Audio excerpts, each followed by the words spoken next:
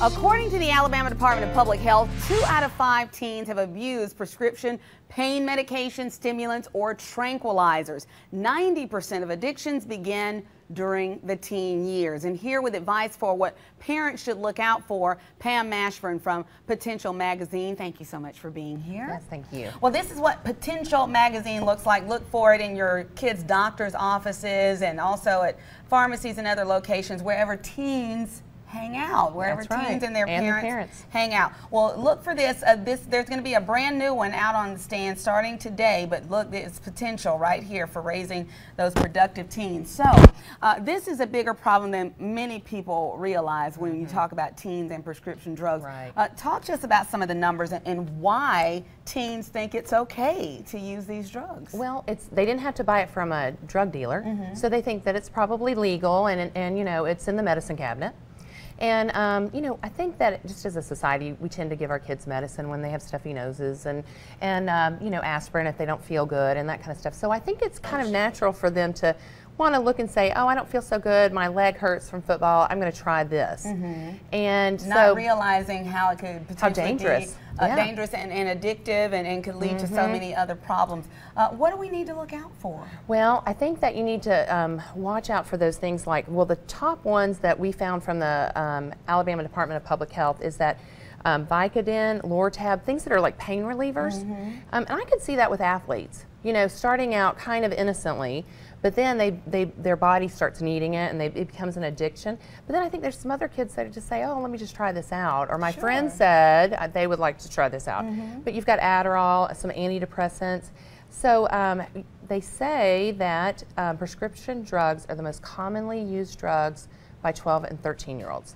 Like this is a real problem, and it starts when they're 12 and 13 years And see, old. when you said teenagers, I was thinking older teens. Mm-hmm. I wasn't even thinking this is something you had to worry about if you had a preteen or Right. a, a young teenager in the house. So, how do you keep them away from that? Or do you, do you lock these things away? Do I think you you talk do. to them? I Or th- yeah, I think you lock them away. And this weekend on uh, the 26th, they're going to have uh, the Alabama Prescription Drug Drop-Off Day. Mm-hmm. So, um, and there's, uh, I'm not sure if they've got it on the webs the website on there, but there's a website that you can Google it, and it'll show you all the different uh, pharmacies where you can drop off your Right. extra drugs. And um, I think the main thing is just to keep it away. You know, we would keep alcohol away from our children, so this is another thing to just it be can be on the just lookout. as addictive. It Yeah, really and I, and the good news is that based on studies, um, if your parents are talking, if the parents are talking to the kids about the dangers, 50% of them will stay away from them. You know, and so that's a good thing. We want to make sure that they really understand. Just because this was uh, prescribed from your dad, who's twice as big as you, Yeah, it's, it's safe for him. That's what you don't realize. Even Mm-hmm. even a parent might think, you know, if I give them this because they're hurting, we don't want our child to hurt. So Right. I have this. Let me go ahead and do that. This was prescribed for you, and you could be a few pounds heavier or quite a bit heavier if it's dad as compared to say, Right. say a daughter in the family. It's just and it's much. illegal. And I mean, it's illegal. and that's the thing I think we all forget. Yeah. If it's in our house, we don't think of it as Ill- illegal. But if a child was pulled over driving and he was um, using some prescription drugs that Right. was someone else's, that's that's another charge that could be brought up against them. So that's a bad thing. Um, but the the thing that's probably most important, I'm not worried about the legal piece, but just what it's doing to our kids. Mm-hmm. And this is an interesting thing. It said 70% of teens that abuse prescription drugs are getting it from their parents, and that um, 90% of addictions start in those teen years. So if they're having access to it, it could start it could lead them down some paths that they just don't need to be in. I mean, that's going to keep them from reaching their potential certainly.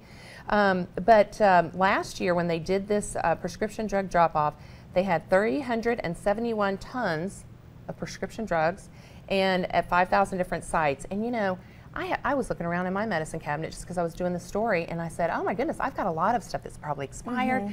And they say, "Wait, "Let's be green." They say, "Don't put it in our water system. You know, don't put it down the toilet. Don't throw it away." They said, "No questions asked. Just put it in there."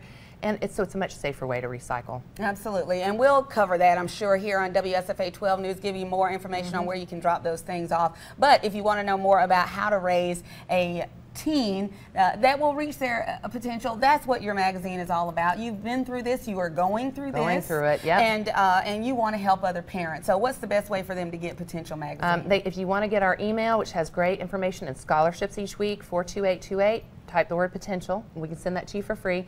The new one's coming out. It's got football on the cover, and it's a really great issue. So I hope you guys will check it out. This is such a fun time of year, so much to talk about, so many uh, activities that these young people, these teens are getting involved in, and it's time to get on board with things like the ACT, SAT. Let's look forward to spring and summer Yes, next year. and it's so- also we've also got an article in there about the. Um, I know a lot of the eighth graders this week are going through testing at the public schools Mm-hmm. on the Plan Explore Act. So we'll talk a little bit about what the public education's doing around our testing. All right, So- and we'll see you next week. Yeah, to talk more about what's in the uh, new thing. It's so good to see you. Great to see you. information there. A little scary, but it's something we need to think about and maybe even Be talk to about. Exactly. exactly. We need to talk to them. 50%, cut in half, Cut in half. of the possibility Just of by those having a kids getting that conversation. Mm-hmm. just by talking to your kids. So thank you for coming to tell us about that. Well.